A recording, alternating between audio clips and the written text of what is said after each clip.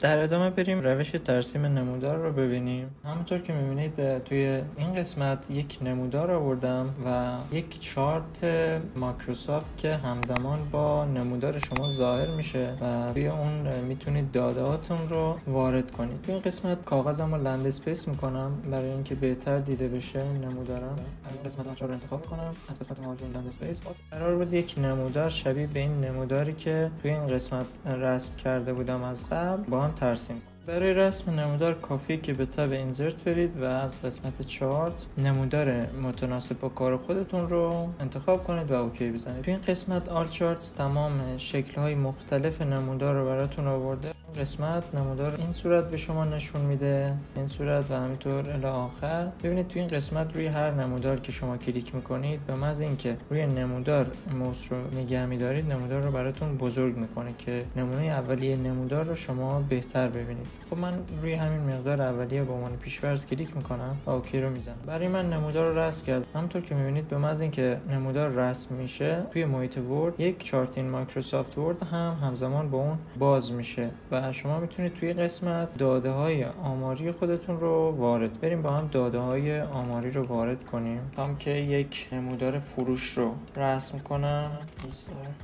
این قسمت. HP تو این قسمت هم لنوو حالا می‌خوام ببینم توی چه سالهایی چه دستگاه فروش بیشتری یا چه دستگاه فروش کمتری یا در نهایت چه دستگاهی هم به صورت متوسط فروش داشتن. از سال 1398 می‌دانم 1399 و 1400 توی این قسمت مقدارها رو وارد می‌کنم. 20 تا بوده توی سال 99 13 تا بوده. ببینید به محض اینکه داده ها رو شما توی این ستون ها وارد می‌کنید همزمان توی نموداری که توی صفحه رسم شده هم تغییرات اعمال میشه توی 1400 هم وارد می‌کنم. برای استر هم 33 22 و بازم اچ پی رو وارد می‌کنم. اچ پی 19 بوده اینجا. اون صفحه یادم رفته بود. 25 همینطور بزنم.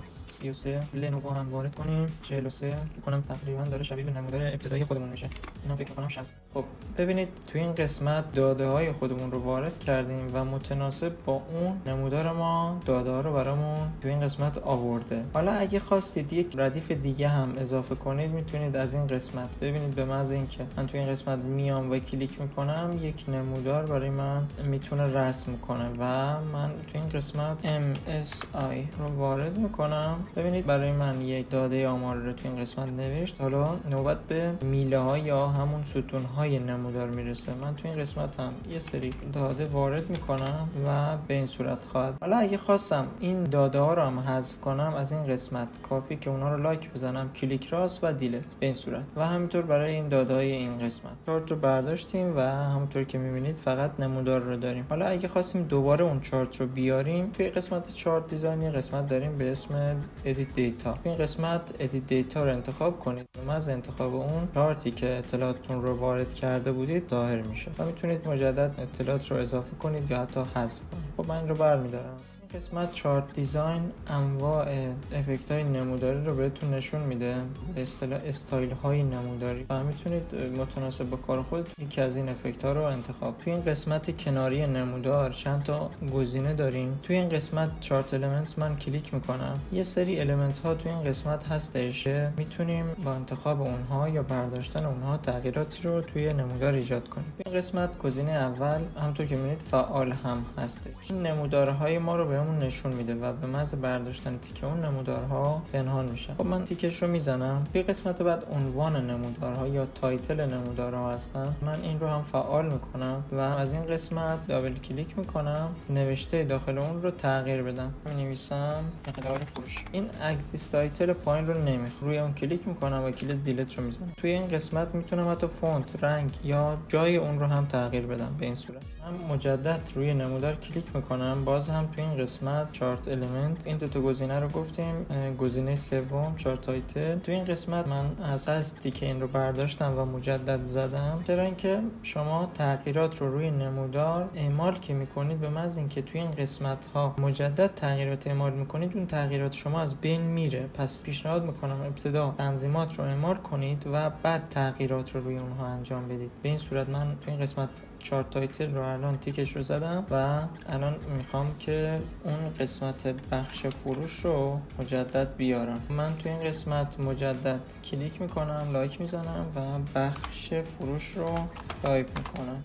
مجدد توی این قسمت کلیک می‌کنم. Data Labels توی قسمت Data Labels نمایش اعداد رو روی هر ستون رو به ما نشون میده. ببینید تیکش رو برمیدارم اعداد میرن اما تیکش رو که می‌زنم خب می‌تونه کاربردی باشه. حتی می‌تونید که مشخص کنید به چه صورت اعداد قرار بگیرن. ببینید توی این قسمت data و همینطور اعداد شما به صورت همزمان نمایش داده میشن توی قسمت بعد نمودار data شما رو زیر نمودار اصلی خودتون یا به اصطلاح چارت داده‌های اصلیتون رو زیر نموداری که رسم کردید براتون میاره که فکر نمی‌کنم جالب باشه. این هم یه سری گزینه ها باز توی خودش داره. توی این قسمت بهمون میگه که با میله نشون بدم داده ها رو یا دون میله به این صورت. تو این قسمت ها یا خط های زیر میله هستش که می‌تونید با استفاده از این قسمت ها اونها رو مشخص کنید یا بردارید. ببینید پشت چارت هایی که شما رسم کردید یه سری خطوط کمرنگ دیده میشن. من زوم کنم بهتر ببینید. توی این قسمت یه سری خطوط کمرنگ هستن که می‌تونیم ببینید قسمت راهنمای زیر نمودار که میشه مکانش رو هم تعیین کرد برای شما نشون میده. تو این قسمت میگه که من راهنما رو سمت راست نشون بدم سمت بالا چپ پایین یا more option هر جایی که لازم باشه نشون میدم. من روی Top قرار دادم همونطور که خود نمودار هم تنظیم کرده. این قسمت Trendline کافیه که من روی یکی از این داده ها کلیک کنم. یک خط برای من رسم می‌کنم و یک Linear هم برای من بالا میاره چون من سال 98 رو انتخاب کردم میگه که توی سال 98 فروش شما به این صورت بوده. این گزینه هم می‌تونه بهتون توی تحلیل نمودار کمک کنه. همونطور که می‌بینید توی سال 1400 فروش شما بیشتر بوده. این تیک رو بر میدارم. توی این قسمت هم یه سری option ها داره که می‌تونید خودتون انتخاب کنید. فونت اینها رو هم می‌تونیم تغییر بدیم. من فونت اینها رو به عنوان مثال کلیک راست می‌کنم فونت و توی این قسمت می‌خوام که bold باشن. bold رو می‌زنم. ما می‌تونیم از رنگ های آماده هم برای design نمودارمون استفاده کنیم. به Chart Design میرم. توی قسمت Change Color می‌تونم که یه سری رنگ به اونها اعمال کنم. ببینید با پایین اومدن روی هر ردیف رنگ ستون من متناسب با اون تغییر می‌کنه و می‌تونم همزمان تغییرات رو ببینم. و خب این تغییرات از قسمت دیگه هم قابل تغییر هست. توی فرمت کافی که از قسمت شفیل استفاده کنید. رنگ پشت اون رو می‌تونید تغییر بدید. یا عنوان مثال یک میله از این نمودار رو انتخاب می‌کنم.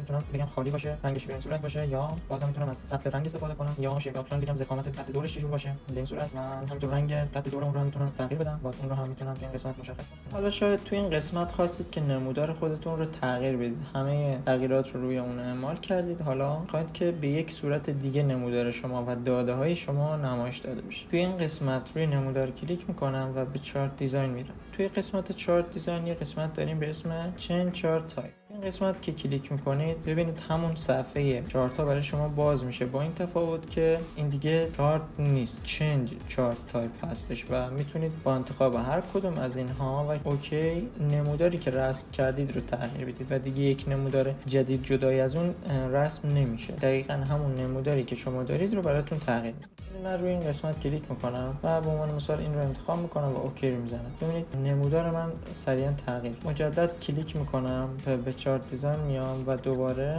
و column و همون نمودار اولیه و OK. یه سری تغییرات دیگر رو هم روی نمودار اعمال کنم. روی نمودار double click می‌کنم. این پنجره format chart area برای من باز میشه. این قسمت border دارم fill دارم و یه سری قسمت های دیگه. من مجدد روی یکی از نمودارها double click می‌کنم. یک گزینه اینجا برای من باز میشه. series option هست. این گزینه می‌تونه خیلی مهم باشه. ببینید شما هر چقدر series overlap رو به سمت چپ بگیرید و بکشید فاصله نمودار شما از همدیگه یا میله های نمودار شما از همدیگه بیشتر میشه. و هر چقدر به سمت راست برید میلای نمودار شما روی هم میفته. خب این جالب نیست. من ترجیح میدم که فاصله داشته باشن از هم دیگه که بهتر بتونم تحلیل کنم. توی این قسمت هم باز می‌تونید پهنای هر نمودار رو برای خودتون مشخص کنید. این نمودارها وابسته به هم هستن. چرا؟ ببینید من روی یکی از این نمودارهای سبز که کلیک کنم همه اونها با هم انتخاب میشن. چرا اینطوری هست؟ داده هایی که من وارد کردم همه مربوط به یک نوع داده هستن و اون هم داده ای که مربوط به سال 98 است. همینطور برای 99 برای 1400 و الی آخر. پس این نمودارها می‌تونن به هم وابسته باشن. اما چارتی که این پایین برای ما مشخص کرده وابستگی ندارن. یه قسمت دیگه هم بود که فکر می‌کنم گفته شد. می‌تونم روی اینها double click کنم.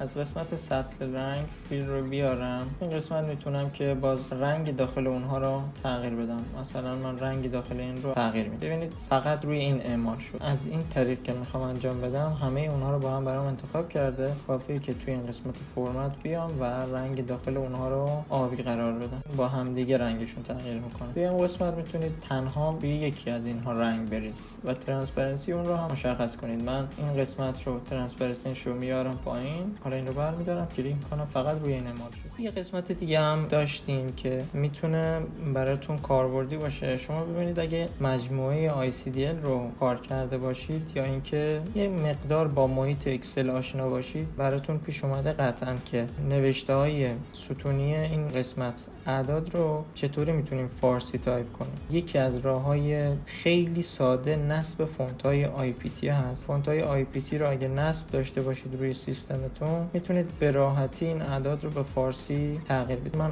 IPT نازنین رو انتخاب می‌کنم و کلیک می‌کنم. اعداد من به فارسی تغییر می‌کنم و می‌تونم مجدد اونها رو تغییر بدم. رنگشون فونتشون افکتشون و در انتها تونستیم که یک نمودار آماری رو به رسم کنیم.